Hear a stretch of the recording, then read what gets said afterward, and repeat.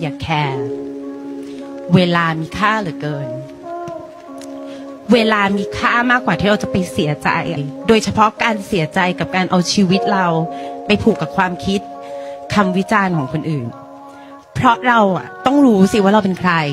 เรากำลังจะทำอะไรและเราต้องการอะไร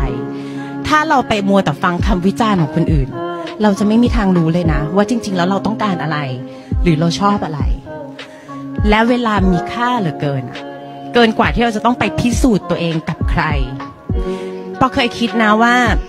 ถ้าวันหนึ่งปอสวยขึ้น ไอคนที่ดูถูกปอเรื่องอ้วนดำอะไรเงี้ยเขาจะหยุด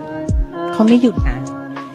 ต่อให้ปอเปลือยอกขึ้นปกโวกต่อให้ปอไปประกวด Miss Universe เขาก็ยังด่าปอว่าอ้วนดำเหมือนที่ปอโดนมาตั้งแต่วันแรกที่เกิดเนี่ยสี่สิบปีแล้วปอก็ยังโดนคำเดิม เขาไม่หยุดปอเคยคิดว่าคนที่เคยเหยียดหยามปอ ถ้าวันหนึ่งปอมีฐานะ ปอมั่นคง ปอมีอาชีพที่ดี เขาจะหยุดไม่หยุดนะ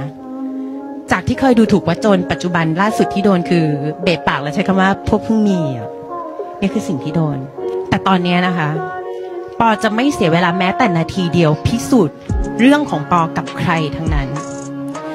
โลกนี้มันมีอะไรอีกมากมายให้เราค้นหา แต่เวลาชีวิตเราอาจจะไม่ได้ยาวขนาดนั้นก็ได้นะ เอาเวลามีค่าของเราอะไปค้นหาตัวเองดีกว่า อย่าไปแคร์หรืออย่าไปให้ค่ามากกับความดูถูกเหยียดหยามของใคร